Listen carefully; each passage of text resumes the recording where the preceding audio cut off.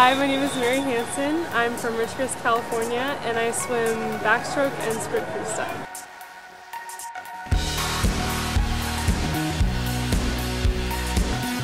I started my first meet, I was four years old. Um, the goggles were like bigger than my face. My mom got us started because um, she had a brother in the Philippines drowned, so I don't know if that's too serious. um, so yeah, we started my brother, my sisters, and my brother and I.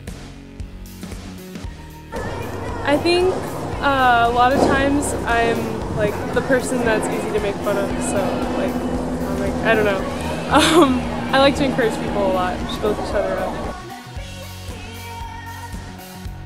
Okay, um, I'm terrible at interviews. I play the violin. My favorite pump song is Shipping Up to Boston. I can do the worm, and I probably know more about Star Trek than most guys. You got it. Okay. 13 seconds. Well done.